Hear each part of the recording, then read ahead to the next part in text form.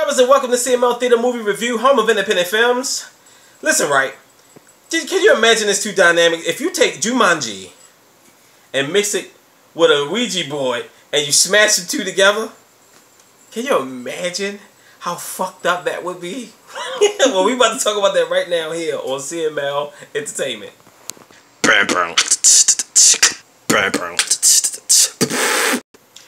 Beyond the Gates. Close the gates. No, Beyond the Gate. Um, the movie was uh, directed by Jackson Stewart, also written by Stephen Scarlata and Jackson Stewart. Oh man, how can I? This was one odd movie, okay, and the movie definitely remind you of the '80s movies, but I would say late '80s. I wouldn't say early '80s, but more so like mid and late '80s.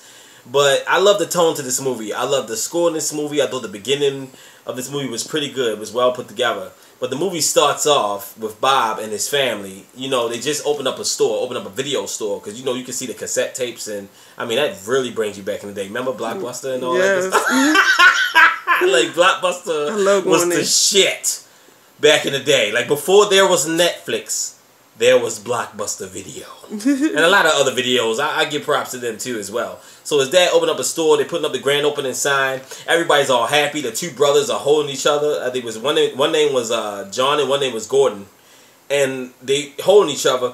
Everybody's like happy, but the dad face changed quick because he was kind of like.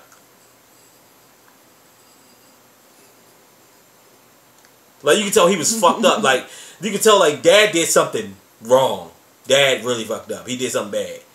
His face changed. So later on, you know, they go, they skip, you know, forward later on down the road. And next thing you know, you see Gordon and you see John, and they both brothers. So you know, the, the two brothers that was there, they noticed that you know their father has been missing for quite a while. He just disappeared. No one know what happened to him. I mean, no one knows nothing. Not even a wife. Like nobody don't know what happened to the dad. So after the dad, you know, disappeared, they, they everything went up. What was like liquidation or something like that. Mm. Um, you know, they had to figure out what they're gonna do with his business because he just opened up the business. I mean, not just open it up; it been opened up, but they had to figure out what they're gonna do with his business. They got to sell the business and sell the damn house. So once the two brothers get there, they end up finding this box in the back called Beyond the Gates. Now, when you look at the box, the box look weird as hell. It's just like stirring a damn Ouija board box. You know, like when you just stir the box. Something weird about the Ouija board box because it don't look right. It just you just got the eyepiece you got the Ouija board, you got the sun, the goddamn moon, and you just got the whiteness all around the box, and the box just looks very uncomfortable. Just even staring at the fucking box make you just say, hell no. we won't go. So next thing you know, they, they grab the box. The brother, um, Gordon looking at John, so John pops it in. He say, I don't know, you know. He said, well, wonder if it's our parents having sex. He's like, Oh well, you, will see how they first got together. so he popped the tape in. Oh my goodness! And the first thing that pops up is this lady. Now this is one. Her name is Evelyn. This is one creepy ass woman. I don't care what nobody say about this movie. This woman got one hell of a pen and stare when she stare, and and it feels like she's literally looking at you, and it makes you feel uncomfortable because you kind of like, okay, why, why? like that, that don't that feels uncomfortable. So yeah. that thing. so the, they end up taking the damn box home. They end up playing the game with the girlfriend because the brother came over, which is you know the, the um, brother John. He's kind of like you know well, he was like homeless, right? Yeah. Like, he was living outside or whatever, and just living day to day. You know, trying to. Um, survive and his other brother ended up being more fortunate so he told him come over for dinner and you know so they got together they start playing the damn game, and that's when everything turned upside down. Now, what was so funny about this movie when they started playing the game? So they popped the VCR tape in. This woman, she will not say anything, and what's so funny. She will stare at them, and they'll be staring back at her, and they're like, "You think that's weird?"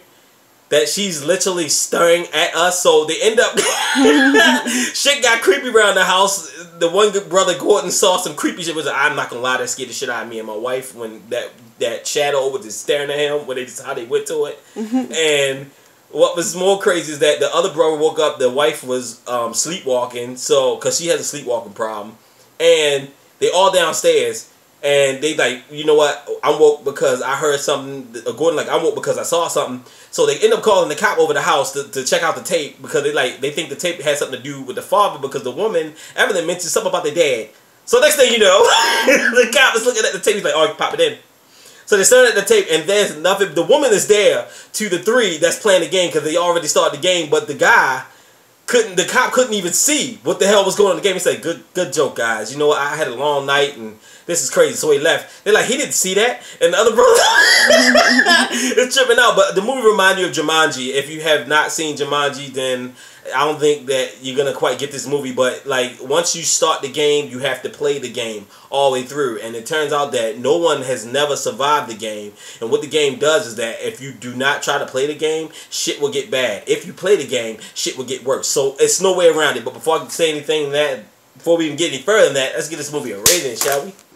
I give this movie a big ass smiley face. Ooh, yeah. Um, Stephen Scarlata and Jackson Stewart really did a good job. Like I said, this movie definitely remind you of the 80s, and I really enjoyed it. I enjoyed the tone, and surprisingly, this movie was really bloody. I mean, the same guy that played in Siren, remember the main villain? He's in this movie too, and he has his little parts in there, but I really felt sorry for him. Like when they found that voodoo doll. then they had to get in the keys. The task was one of the one of the tasks in the game was they had to get the key, but the key was buried in their house, and it's so funny that on the board it looks just like their house on, on front of the board. So they end up having to dig it up, and they end up stabbing his dog. But turns out that this guy is getting killed in the bar in front of everybody. His stomach is opening up, his guts and shit flying out. This movie was bloody. That's one credit I definitely get to this movie. It was bloody. It was cool. I love the two brothers. I love them. I love Evelyn. Her pin and stare is scary as shit. movie is off the chain. Check this movie out, Beyond the Gates. I thought it was I thought it was pretty good. It was amazing. It's up my alley. I love 80s films. Um, before I assign this thing off, before I get out here, I just want to let y'all know that I like to apologize and say sorry to you guys because I, I know y'all usually see a video every other day that's up, but I'm busy with so many shows. I have uh, two other channels that I'm working on and almost actually what I have three because it's this one, mm-hmm. the other two channels, and then I have another channel coming up, and I'm just working really hard. You know, I got shows going on, I got different things. So if you guys want to keep up with me, other than just in CML, you can. But CML always will be my first because this is my firstborn. You know, I got to keep shit real. Gotta do my thing. but I'm definitely gonna keep some things coming. I'm still waiting for some releases to come out because a lot of these movies, a lot of these good horror movies is coming before the year out and I'm waiting for it, but it's just taking so long. Like the one Santa movie, Secret Santa, I am waiting for this movie. This movie remind me of a grindhouse film and I just can't wait to dig into this movie to give it to you guys and let you guys know what the hell is going on. So do that and then don't forget to subscribe to um, Chris Games Oh Yeah. And don't forget to subscribe to GTVA5 if you into that type of stuff. If you into like video games and stories and stuff like that. Because I do stuff like that. That's kind of like my thing that I do too. But movies is my number one. So I'm just letting y'all know movies my number one just like y'all. Y'all never be my number two. Y'all always be my number one. don't forget to hit that like button. Don't forget to hit that subscribe button. And don't forget to leave a comment. Let me know what you think about Beyond the Gates. Because I told you what I thought about it. I thought it was awesome. I got an 85 tour. It's bloody. It's cool. It's awesome. And I enjoyed it. I loved it. Oh yeah, yeah. Sorry about that. And don't forget, thank you, boss. Don't forget at Amazon, you can watch this movie. You can check this movie out right now on Amazon. Um, you can rent it for six ninety nine, and you can buy it for I cannot think of the price to save my life. but check it out. Can, it's out right now. It's available. Check it out. Like I said, I thought it was awesome. If you love that 80s vibe, this is right up your alley. And to all my movie lovers, I love you.